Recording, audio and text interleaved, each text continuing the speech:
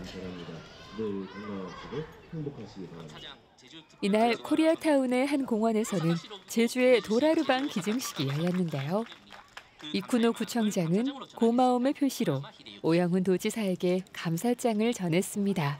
生野区のあのこのみゆき森の地域は、 えー大阪コリアタウンが近くにあって、えー100年以上ですね、えー韓国朝鮮にルーツのある方と、えー共生の歴史があありますあのそこにトルハンバンが設置をご寄贈いただいて設置をいただけるということは非常に嬉しいと思っています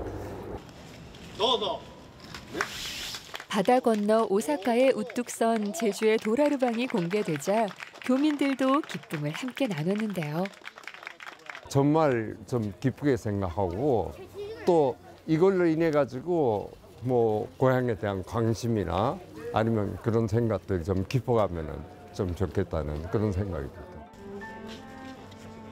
사이좋게 나란히 서 있는 도라르방 한 쌍. 앞으로 제일제주인들의 자긍심을 지키는 수호신이자 제주와 오사카의 우정을 더욱 돈독하게 이어주길 바라봅니다.